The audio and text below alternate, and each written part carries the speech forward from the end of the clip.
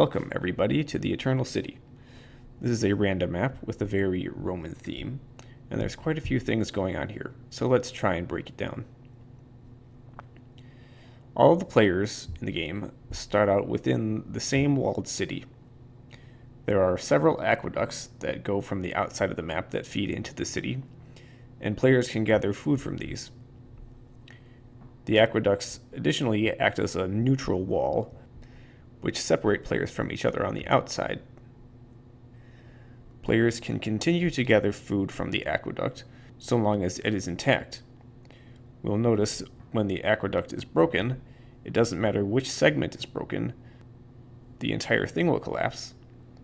And once collapsed, players may no longer gather food from the aqueduct.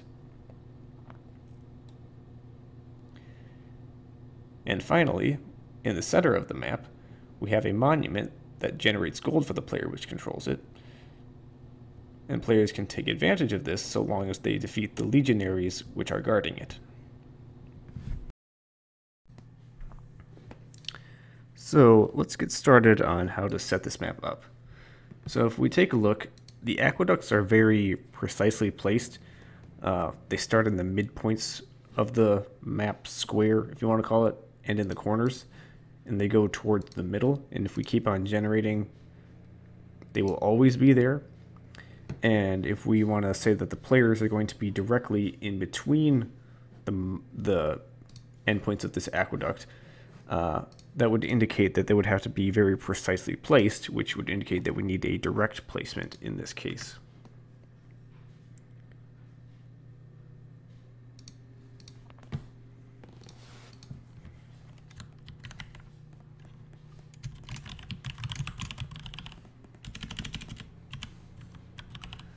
So we have our player setup. Direct placement. And direct placement maps tend to go hand in hand with our favorite map making utility, which is MadLands. So, um, we take a look at this pattern here. We have basically a circle of eight points. The radius is 25 units away from the center. And if we want to consider that the aqueducts are going to be starting from the corners of the map like that, and um, the edges of the map like that, this offset of 22 and a half degrees will put the players right in between those. So for the properties of these lands, we're going to just say that the terrain type is mud, the borders are 18 all the way across, and the border fuzziness is 100. So fairly simple.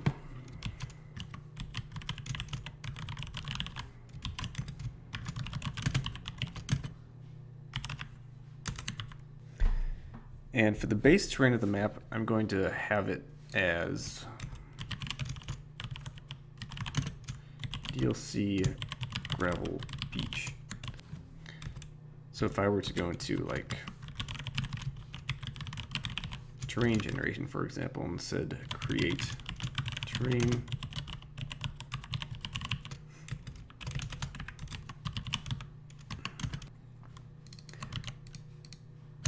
base terrain DLC gravel beach. 100% of the land spacing to other terrain types is one. And what we basically have for us here is just this small little section of terrain which we can use to easily target walls. And since this is restricted for golds and stones, for example, if the players are spawning here, any player gold and stone that we create will never be able to spawn on the outside. So that's helpful.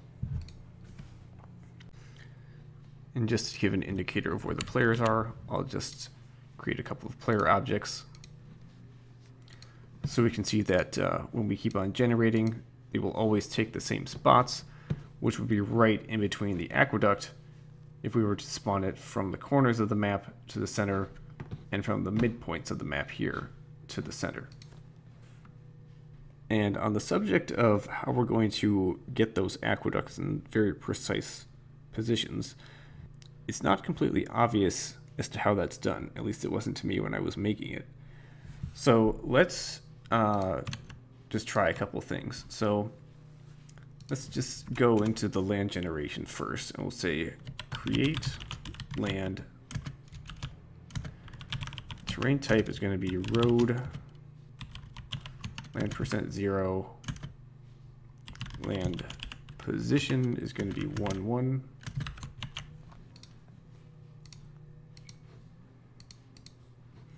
So we have one there, and we'll make a land in four corners. So we'll have 99, 99.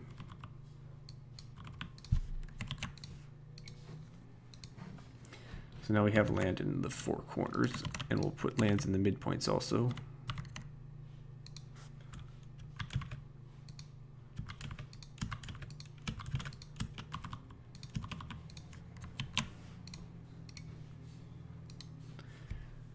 So currently we have lands in the corners and lands in the midpoints, which is effectively where these aqueducts are going to be starting. And let's say we had one more land, which is at 50-50, which is going to be right in the middle. So if we were to try and connect all of these lands to the middle here, we can just try a connection generation section.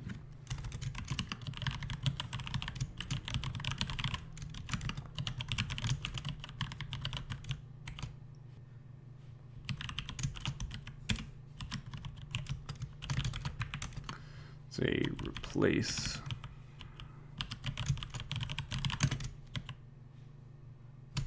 the dry grass with dirt 2 and the terrain size can be very small. So even though what this did for us was it uh, created this connection between this uh, neutral land in the corner and this land in the center here, there's really no way to isolate this as its own thing without including connections to everywhere else. Because at the moment, it's fairly clear that we're also connecting all of these lands on the outside, as well as all these neutral lands to all the player lands, which is making this very messy. So connections aren't going to work very well. And then perhaps we can try to brute force it by just using actor areas. So if I were to just draw a line from 0, 0 to 100, 100 with uh, actor area mode, let's see what this does.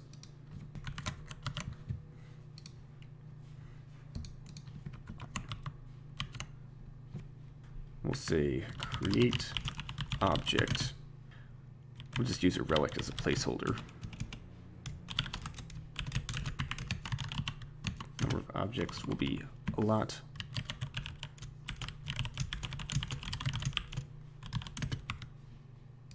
And we'll say actor area to place in one, which is the actor area ID here. And we can see that this does a reasonable job for us here, but we got to notice that since we're on a large map, each percent of the map's length is going to be slightly bigger than one tile. So as we can look and see, every so often there's a bigger gap than we would like. So if we were to place aqueducts instead of these relics here, they would be too far apart to connect with each other. And we could potentially increase the density of these actor areas to be closer together, but it's going to be very dependent on map size, and the amount of code that that would entail would be pretty extreme, especially when there is a simpler way of doing it, which I will demonstrate. So we'll just get rid of these over here. So for each of these lands in the corners, what I'm going to do is I'm going to give them a land ID. Well, we'll just uh, take one to demonstrate for now. So I'll take this relic and I'll say place on specific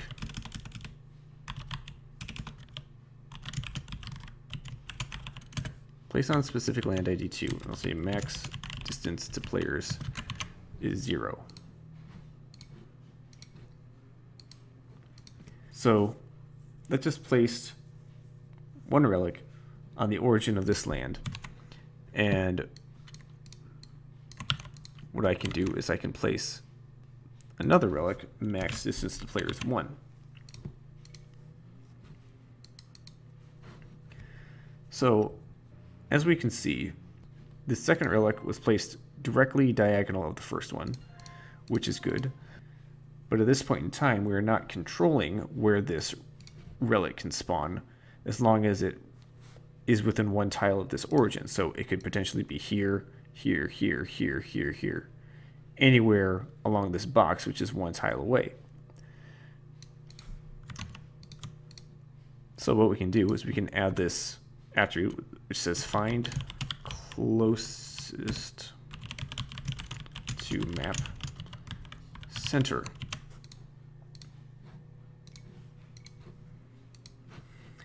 And now we can generate generate again and the second relic will always be on this side diagonal of the first relic because it's trying to find the closest to the map center over here. And we can try and repeat that with a couple more iterations. So this one was one tile away. This can be two, three, four tiles away. And they will all get placed in a line towards the map center. And if we were to give those same attributes to the lands in the other corners, now all of these are land ID 2, and they will all start to create these relics in a path towards the center. So now that we have that principle taken care of, uh, all that's left to do is figure out where they're going to stop. So to give us some indicator, what I'll do is I'll create where I want these lands to stop. So I'll say assign to player 1 and also give it a land ID so that they won't spawn player objects.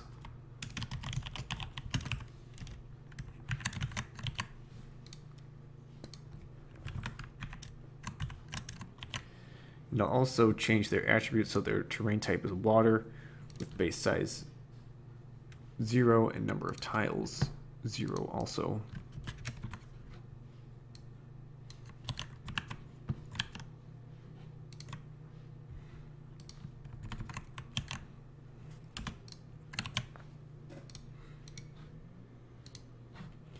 So essentially, I just want to keep adding objects to this chain until the last one ends up on this piece of water over here.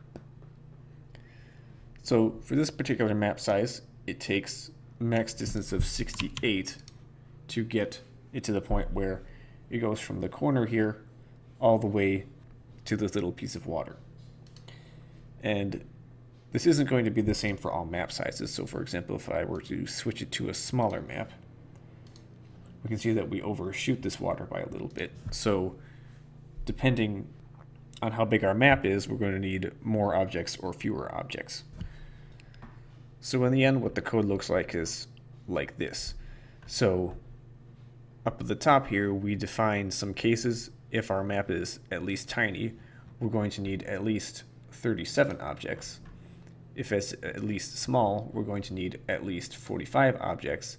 And then the bigger the map size gets, the more objects we'll place, but it doesn't exclude any of the objects that were already placed when the map was smaller. So we can see that it's properly adapting to the map size here, and on 4-player, etc.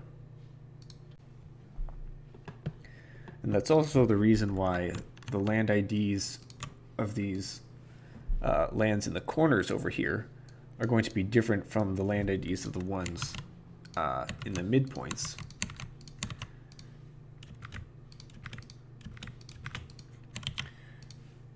Because the corners are going to be slightly farther away uh, from the center of the map than these midpoints would be. So we'll need a different number of objects. Okay, so at this point, I no longer need these lands of water to be uh, a visual indicator, so I'll just have them blend in with the rest of the terrain on the inside. And these lands, which are road, can be the same as the base terrain. So they will blend in nicely also. So at this point, we can try to switch out the uh, relics for aqueducts. So you can say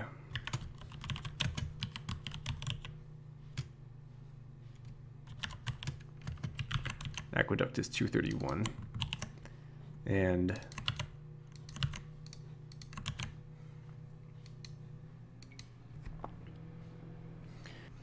we can see that this didn't do what we wanted it to do. And that has to do with the fact that since aqueducts are a wall class object, when you place them with reference to a land ID, they will want to be placed in rings as opposed to as individual objects, similar to how walls are created on arena and fortress style maps. But that's not very difficult to overcome. So instead of just placing relics, we'll just place a placeholder.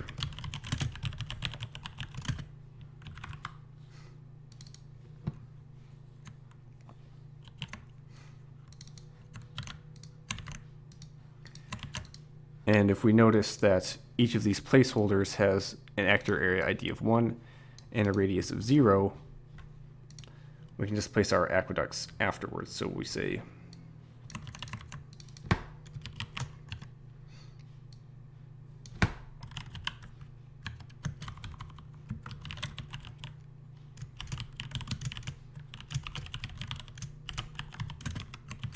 actor area to place in one. And now we have each of these as a straight line from the uh, corners all the way to this midpoint between the two players. Now, a couple things that I want to mention is that I'm still keeping these lands here, uh, which are right below the aqueduct, even though they're not being used as a visual indicator. Since I have these assigned to players, these are technically going to be player lands, which means is uh, if I create any forest in the middle and give that the attribute of set avoid player start areas, that will prevent the forest from spawning too close to this aqueduct, which is uh, a positive thing. So speaking of trees, let's put those in there. So in the terrain generation section, we'll place Mediterranean forest on the inside of the city with a small land percent and pine forest on the outside of the city with a larger land percent.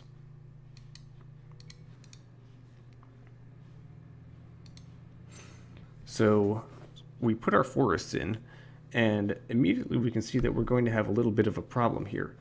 Since the terrain of the uh, forest is generated before the object section takes place, it potentially gives us these breaks in our aqueduct.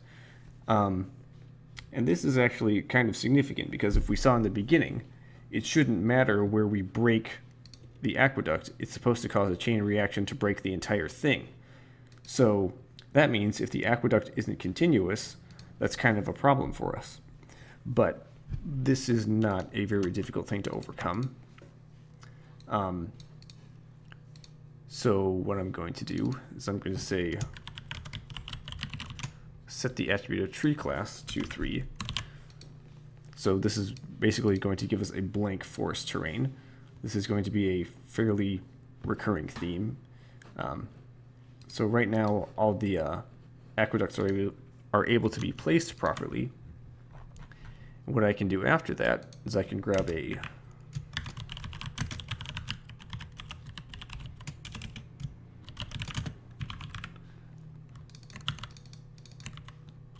grab a terrain blocker. And then after we place the aqueducts, we can say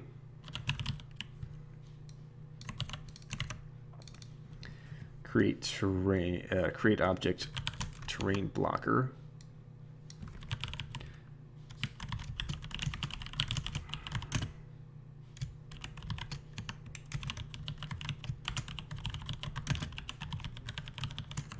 So we create the terrain blocker because it's not restricted to being placed on ground terrain, which trees are. So we place that back on pine forest, and the second object is going to be a tree. So now we have our trees back, but importantly, they do not obstruct the path of the aqueduct from the corner to uh, the middle here. And then we can do a similar thing with the uh, forest in the middle. Mediterranean forest. And we can put olive trees on the Mediterranean forest. So now we have our, our forests on the outside and on the inside, and notably, since uh, these aqueduct locations are technically player lands, also, we'll never have a situation where we have a forest spawning on top of uh, this aqueduct end. Alright, so I've added a couple of things to the map. So I added the uh, midpoint aqueducts in addition to the uh, diagonal ones over here. And I've also placed this uh, shorefish underneath the end of the, the aqueducts over here.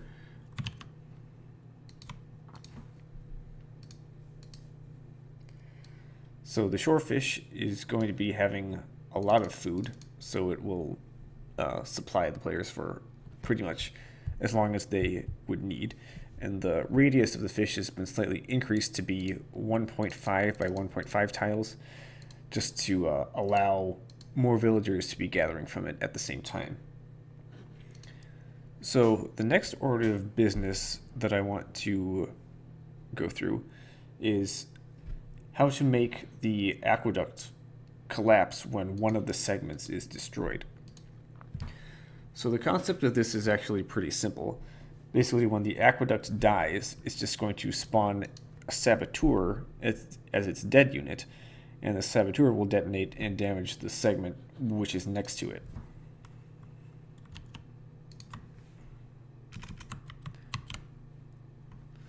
So a saboteur is object 706. So for all the Gaia saboteurs, I will set their hit points to zero, so they die immediately upon spawning. Setting the blast level to zero and max range to two will allow it to damage friendly units in addition to damaging resources. Uh, notably, this is what's going to allow it to damage the shorefish. The saboteur's dead ID is building rubble, so the end result looks like building rubble even after the uh, saboteur dies. The blast radius is 1, so it doesn't affect any larger of an area than the uh, segment next to the one that's currently being detonated. And then uh, modifying its melee attack to be 0, but modifying its bonus damage versus walls to be a lot, so it will be sure to destroy the wall segment without damaging any units that may be nearby. So what I'll do is I will say Gaia set attribute of the aqueduct set its dead ID to 706.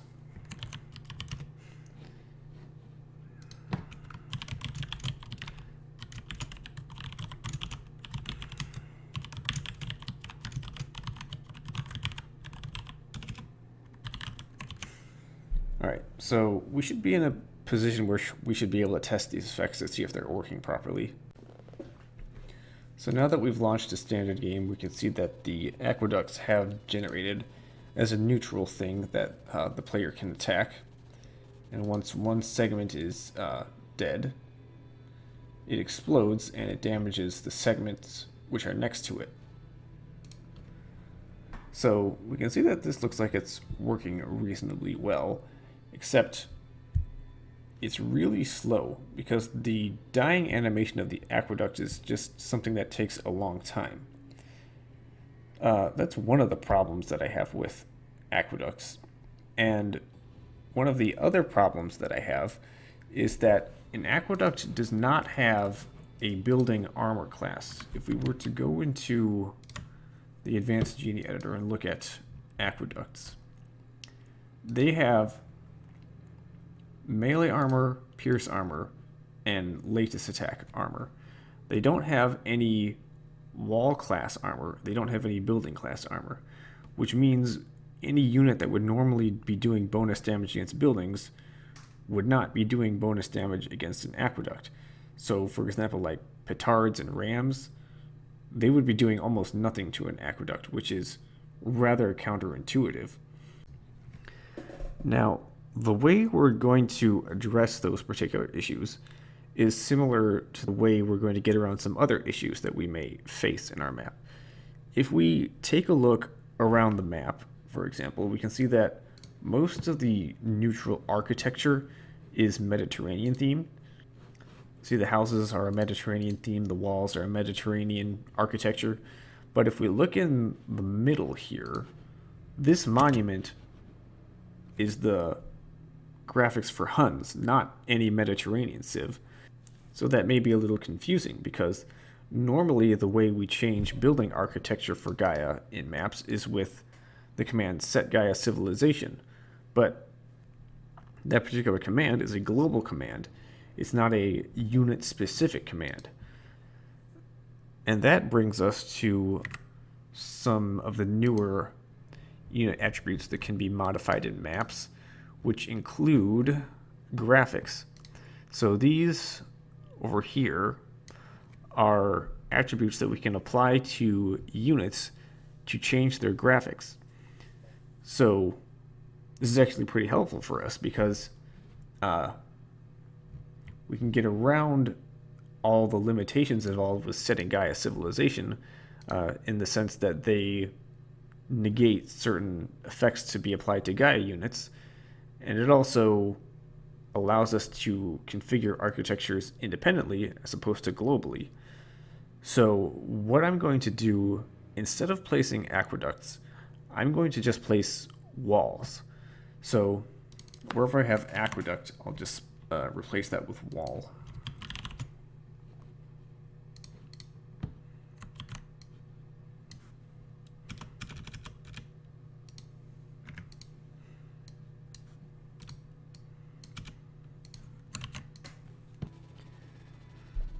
So now that we're uh, using walls instead of aqueducts, you can see the destruction animation is a lot faster. And similarly with walls, they have the armor indices for walls and buildings, so they will take bonus damage from anti-building units. And in order to get it to look like an aqueduct, uh, what we have to do is uh, not very complicated. So we just say wall attr standing graphic. And then we take a look at the advanced genie editor for aqueduct and take a look at what the ID is for its standing graphic, which is 591.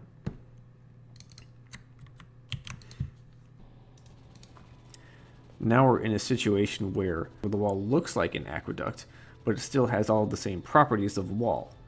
Um, so we have now a quick destruction animation instead of the long one. And we have all the armor classes of the wall as opposed to the armor classes of the aqueduct, which are not intuitive. Now, you may have noticed when the Cobra cars were attacking the wall that the damage graphics of the aqueduct still looked like the damage graphics of a wall. Um, damage graphics are currently not among the uh, attributes that can be modified through scripting. Uh, so that's just one thing to keep in mind. But in our case, that's not really a huge deal. Okay, so the next order of business is going to be creating the walls around the city. So this is going to require a bit of trickery. Um, since if we look around, it should be fairly intuitive uh, what zone of the wall should belong to each player. So all of the wall from this aqueduct all the way to this aqueduct should belong to the gray player. Similarly, everything from here all the way to here should belong to the red player, etc. Now, um, it's important to know that we don't really have any discrete zone separation to be able to differentiate which zone actually belongs to each player. It's all basically one continuous thing. So the way we're going to do it is that the wall is going to be a Gaia wall, and when the game starts, the player in question is going to capture however much of the wall he's supposed to control. So let's walk through that. Um, so we're back in the object section, so we'll create object.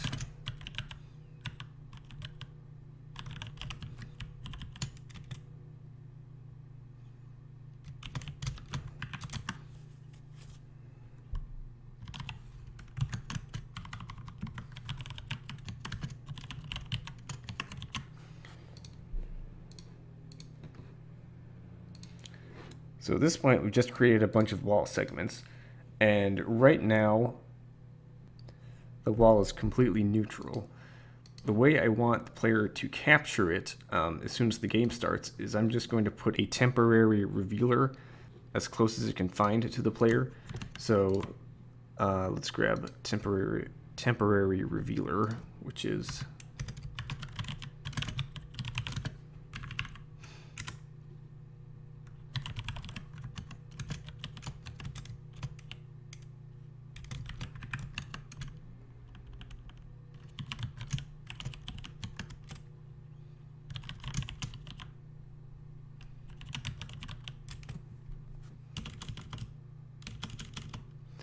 So set place for every player, find closest that is on DLC Gravel Beach.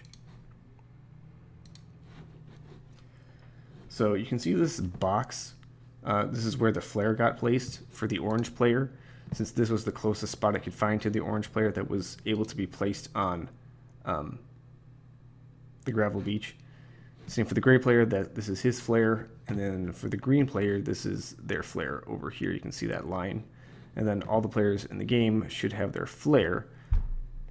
So if we test the game at this point, we are controlling a section of the wall, but it looks like we are controlling more than we ought to.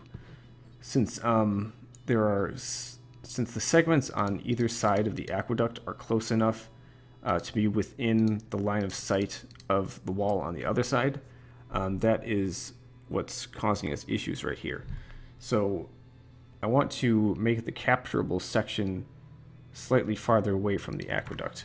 So what that's going to require is an actor area.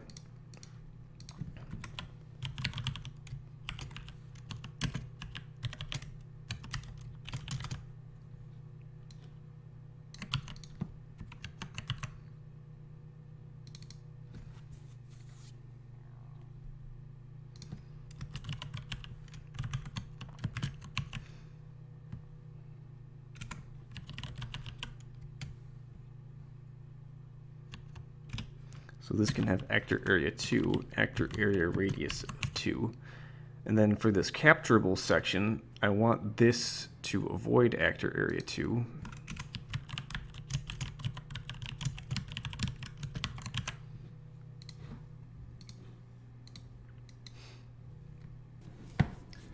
So effectively what we've done here is that since we placed this off-grid object in actor area 1, actor area 1 is the same line as these aqueducts, so it will be placed in line of the aqueducts on DLC Gravel Beach. So it basically is the intersection right here. So the capturable section will avoid that, so we're only capturing this part of the wall, and similarly all the other players have captured their respective sections. And then just to fill in these gaps over here,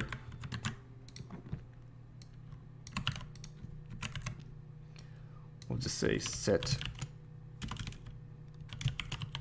Gaia object only, set Gaia unconvertible.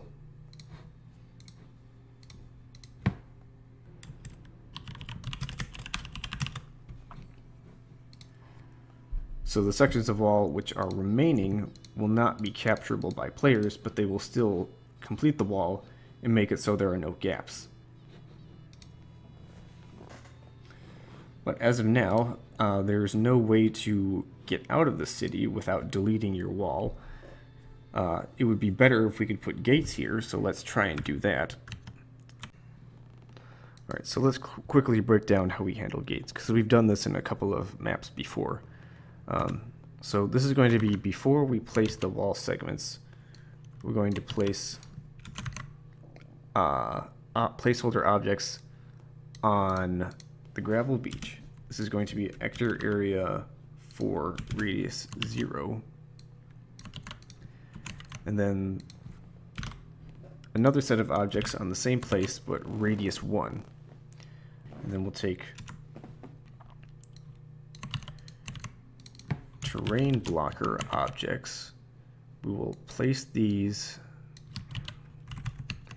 in actor area 5, which is radius 1, and we will avoid actor area 4, and we'll put a second object flag A. So these are the terrain blockers, which are going to restrict the placement of the gates. So it will restrict the gates to only being placed in the proper orientation.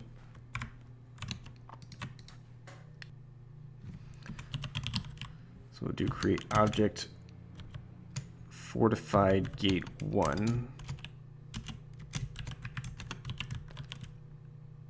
Set place for every player, find closest. That also is on DLC Gravel Beach. So if we take a look at this, we can see that for the red player, this is pretty much the appropriate place to put this gate. Um, but for, and similarly for all the other players that spawn on this side, which would have a gate that's facing this direction, so this player, this player, this player, and this player all get a gate placed properly there.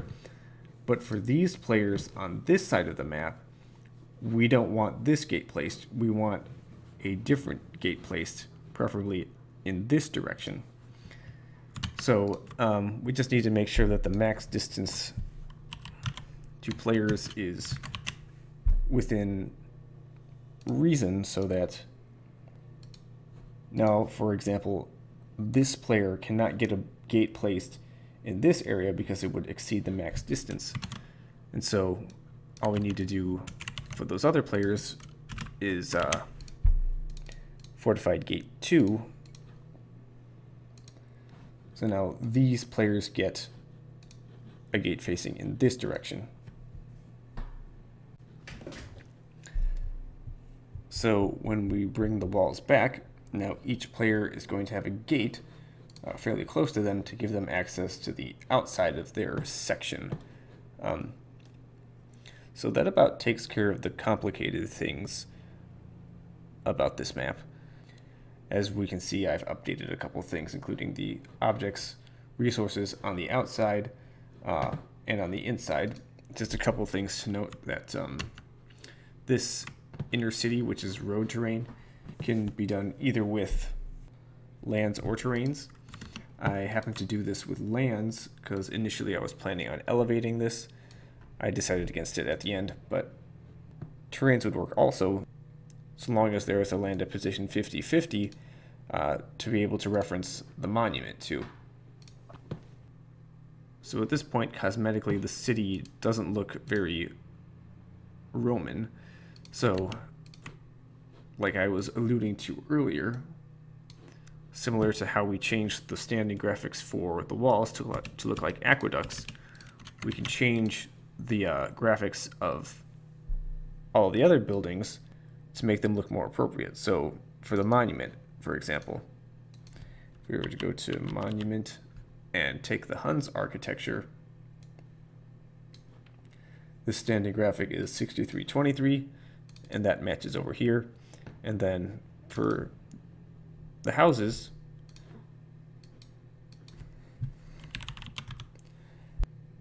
I would prefer these to be Mediterranean architecture. So I just select a civilization with that architecture set and we get standard graphics of, of 2226 which matches this over here.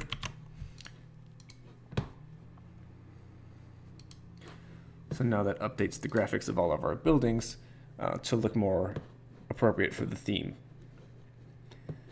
Um, one other thing to note is that, let's see if we can, uh, the aqueducts themselves don't extend all the way to the edge of the map.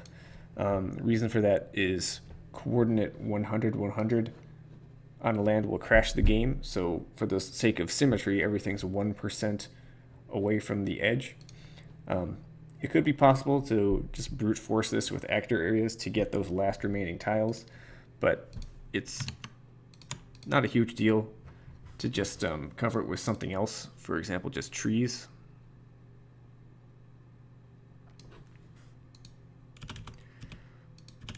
So since these are all land origins, I'll just place 50 trees on each land so they will just clump up and block the edges of the map um, and not allow units to pass around. Now, I know I didn't go into too much detail on how the players are set up for different configurations, different numbers of players, and how they're randomized, but I have other videos dedicated specifically to those topics. Um, and just in general, if I do something fast or don't explain something super well, it's usually because I have made other videos which involve that topic, and I try to link those when I can.